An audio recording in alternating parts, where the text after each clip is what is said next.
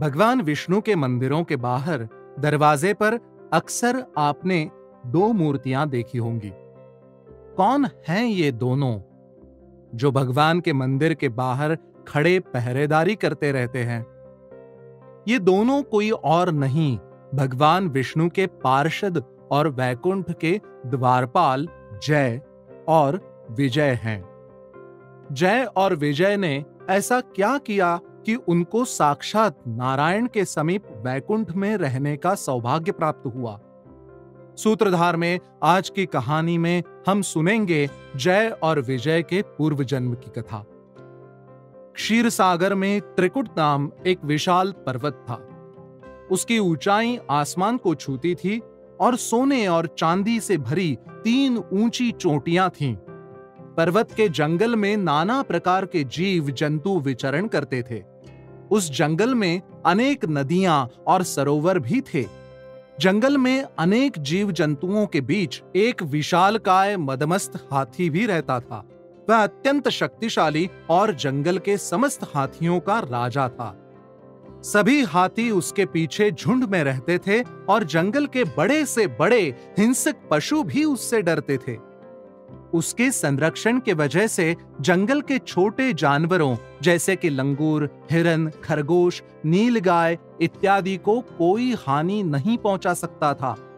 गजराज की कृपा चलते सभी जीव बिना किसी भय के जंगल में विचरण करते थे और कोई भी उनको किसी प्रकार की हानि नहीं पहुंचाता था।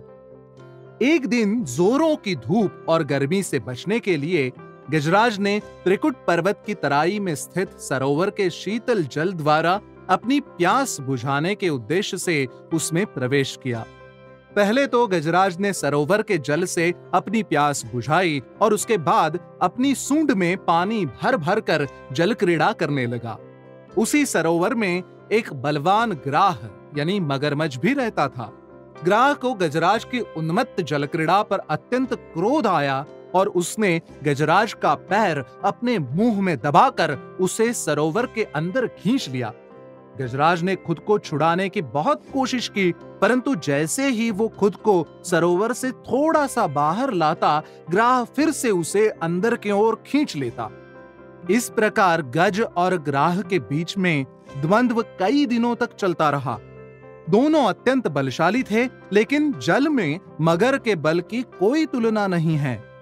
गजराज ने ग्राह के मुँह से अपना पैर छुड़ाने की बहुत कोशिशें की, परंतु सभी नाकाम रही। बल्कि ग्राह के दांत गजराज के पैर में अंदर तक गड़ते जा रहे थे।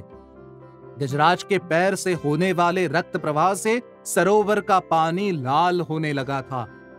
इस प्रकार रक्त बहने से गजराज धीरे धीरे कमज़ोर पड़ता जा रहा था। अंततः गजराज को लगा अब वह ग्राह के हाथों परास्त हो जाएगा और ऐसी असहाय अवस्था में उसने सरोवर से कमल का फूल अपनी सुंड में लेकर सुंड ऊपर उठाकर पूरे मन से नारायण श्री विष्णु जी को याद किया। गजराज के अंतर्मन की पुकार सुनकर नारायण तुरंत ही गरुड़ पर सवार होकर उसकी मदद करने आ पहुँचे। उन्होंने देखा कि ग्राह ने गजराज को पूरा पानी के अंदर खींच लिया है।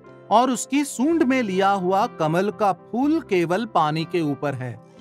नारायण ने तुरंत ही अपनी शक्ति से गज और ग्राह को पानी से बाहर खींच लिया और अपने सुदर्शन से ग्राह के मुँह से गजराज का पैर छुड़वाया। इस प्रकार नारायण ने ग्राह को मुक्ति प्रदान की और गज की रक्षा की।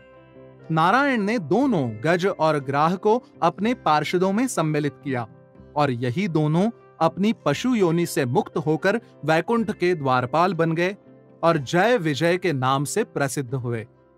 भगवान विष्णु के मंदिर के दरवाजों पर पहारा देते हुए वो मूर्तियाँ किसी और की नहीं, इन्हीं जय और विजय की हैं। जय और विजय का प्रकरण यही समाप्त नहीं होता है।